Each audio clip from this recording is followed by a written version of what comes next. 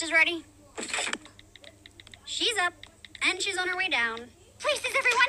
We're gonna make sure that Chelsea's sixth birthday is the best one yet. Stacie really loves birthdays, but she takes them very seriously. Maybe a little too seriously. I'm on food prep. Barbie, you're in charge of distracting Chelsea. Skipper, you're on decorating duty. Ugh, can't Ken do it? Ken's in the garage putting Chelsea's gift together. It's a bike. All Chelsea ever talks about is getting a bike. She's gonna be so surprised. And it gives me a chance to show Barbie my technical expertise.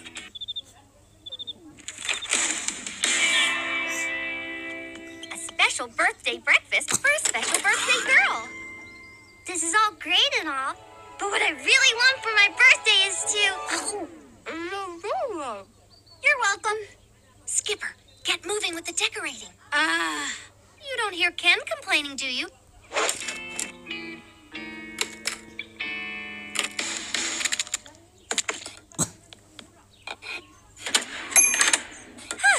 Baking can be hard work.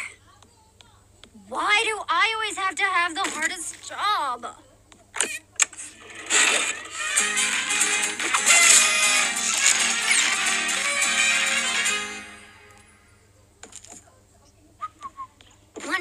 I want for my birthday, Barbie? A unicorn? Yes, again. A pink unicorn? No. A singing pink unicorn who can grant your every wish? No! Ken, what's wrong? Another daddy longlegs getting your hair? Why? Do you see one on me? Kill it! Kill it! How's the bike coming? Almost done. Barbie, you log in each gift, who it's from, and Chelsea's emotional response. Skipper, you're on wrapper recycling duty. Oh, come on.